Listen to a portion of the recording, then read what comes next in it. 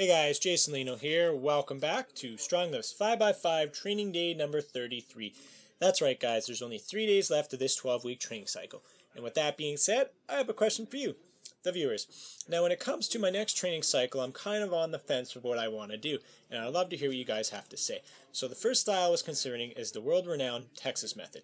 It is an intermediate peaking system that alternates between three different styles of training First one being volume, second one being recovery, and third one being intensity.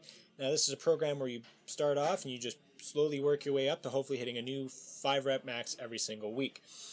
Now, the next program I was considering is actually a program that I came up with by myself.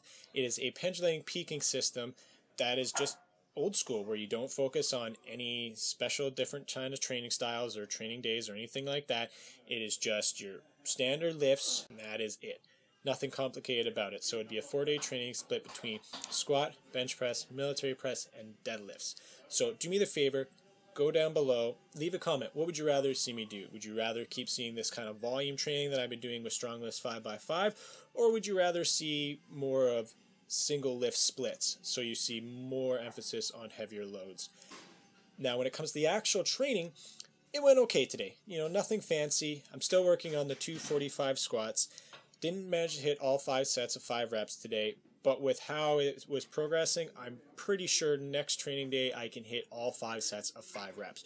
Now, when it comes to the bench press, I did an easy 170 bench, and if you look carefully, you might even see a little bit of leg drive, so I'm really happy about that. Pendlay rows, just an easy 180, no complaints there.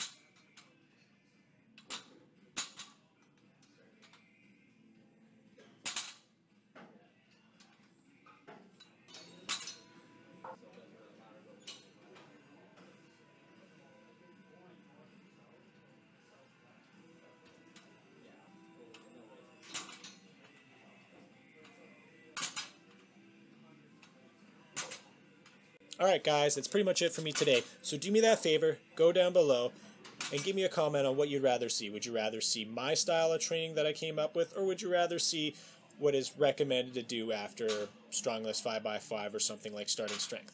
So leave me that comment and also hit the like, share, and subscribe, and I will see you guys next time.